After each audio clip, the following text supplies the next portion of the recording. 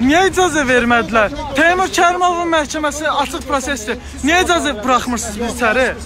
Teymur Kərimovun məhkəmə prosesi açıq prosesdir. Niyə jurnalistlər və vətəndaşları buraxmırsınız içəri? Teymur Kərimovun prosesi açıq prosesdir. Niyə jurnalistləri buraxmırsınız içəri? Hansı əsasla buraxmırsınız içəri?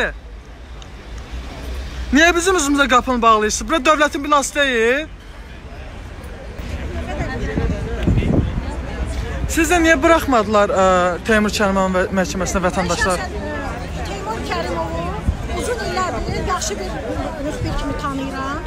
Mən bilə bilirəm ki, onun heç bir günahı yoxdur. O azad bir müxbirdir, mən onu azad müxbir kimi tanıyıram. Onun heç bir günahı yoxdur. Oqtay Şirəliyev qərəzli mövqedə bu gün qa- şəxsi də marağı olduğu üçün saxta əlillik verən həkimlərini məhkəməyə vermir ki, ikinci qrup əlillik verdirir ona, pul alar saxta sağlam qadınlara.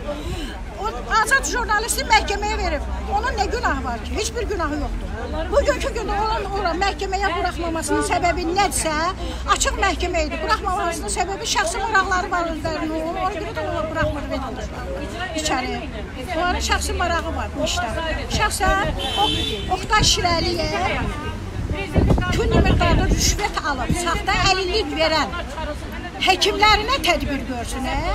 Jurnalistə məsuliyyətə cəlb eləməsin günahsız jurnalistə. Bunlar, meymunlar xalqa xəyanət edir. Oturublar rəsəpsədə cəmaatı qəbul eləmirlər.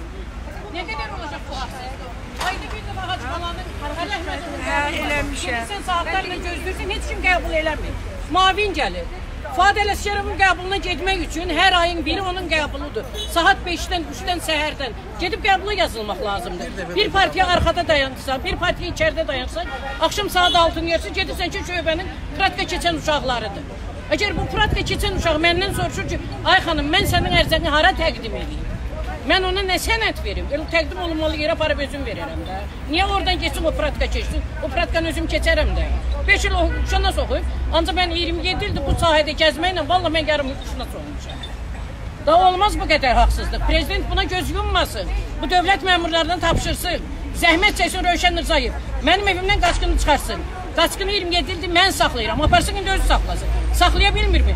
Neft şirkəti, sənaye nazirliyi, Ekologiya naziri, Təbii Sərvətlər naziri pul ayırır. O pulla da evlər tikilibdir. Deməli bu gün bildiyiniz kimi vətəndaş Şərmov Teymur Mərdanoğluna qarşı Azərbaycan Respublikasının Səhiyyə naziri e, Şirəliyev Oqtay Kazımoğlu tərəfindən xüsusi ittiham qaydasında e, məhkəməyə şikayət verilmişdi. Deməli bildiyiniz kimi e, şikayətin mahiyyəti ondan ibarət idi ki, Azərbaycan Respublikasının Səhiyyə naziri Oqtay Şirəliyev Şərmov Teymur Mərdanoğlunun onun haqqında böhtan və təhqir xarakterli məlumatların yayılmasında ittiham edirdi və Cinayət Məcəlləsinin 147.2 və 148-ci maddələrinin maddələrin sanksiyasında nəzərdə tutulan ən ağır cəza ilə e, məhkəmədən e, onun həbs olunmasını e, istəyirdi.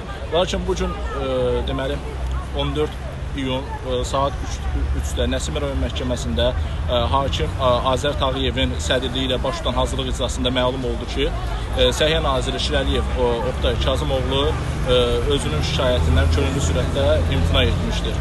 Və bu imtina da imtina dair ərizə də mövcud olduğuna görə iş icraata götürülmədi və həmçinin bununla bağlı biz e, deməli ki, Teymur Kərimovun nümayəndəsi olaraq mən və onun vəkilləri şikayətin rədd edilməsinə dair e, vəsadətlə məhkəmədə çıxış etmişdik və bildiyiniz kimi e, bu Kərimov Teymur Mərdanoğluna qarşı irəli sürülən ikinci xüsusi tam qaydasında ikinci şikayəti. Bundan əvvəl isə Səhiyyə Nazirliyi özü inzibati e, orqan olaraq Kərimov Teymurun məhkəməyə verilməsini və onun həbs edilməsini istəyirdi. İstər birinci iş və istərsə də bu iş ikinci iş, ittiham qaydasına verilən hər iki iş icraata götürülmədi. Və onu da bilirsiniz ki, bu məhkəmə prosesləri dövründə vətəndaş Kərimov Teymur Mərdanoğlunun anası vəfat etdi. Elə o özü məhkəmə hazırlıq iclasında olarkən bu hal, bu fakt gerçəkləşdi və bundan da biz bütün burada e, Teymur qardaşa dəstək olan hər bir vətəndaş onun anasının içəsindən dərin kədərləndiyini bildirir və mən Səhiyyə Nazirliyinə, Səhiyyə naziri e, cənab Oqtay Şirəyev diqqətinə çatdırmaq istəyirəm ki, qanunvericilikdə də təsbit olunub əhalinin sağlamlığının qorunması haqqında qanunun 10-cu maddəsi Azərbaycanda dövlət səhiyyə sistemi pulsuzdur.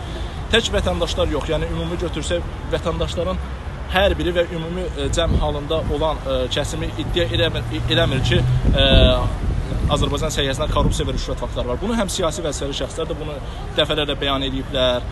Milli Məclisin deməli deputatları da bunu bəyan ediblər və bu yaxınlarda bildiyiniz kimi deputat Fazil Mustafa da Səhiyyə Nazirliyini tənqid edən çıxışları ilə yadda qalıb. Azərbaycanda yanlış qoyulan diaqnozlarla bağlı e, ictimaiyyətə geniş e, məlumat müsahibə verib. Yəni bir mənalı olaraq qeyd etmək lazımdır ki, Azərbaycanda Azərbaycanda sıravi vətəndaşdan məmura qədər e, siyasi vəzifəli şəxsə qədər, yəni kimliyindən asılı olmayaraq heç kim iddia edə bilməz ki, bu gün Azərbaycan səhiyyəsinin durumu, vəziyyəti, statusu e, qənaətbəxş e, qənaətbəxşdir. Yəni Ümumdünya Səhiyyə Təşkilatının bu barədə hesabatları da var. Azərbaycan e, Cənubi Qafqazda e, səhiyyəsinin inkişafına görə ən axırıncı yeri tutur.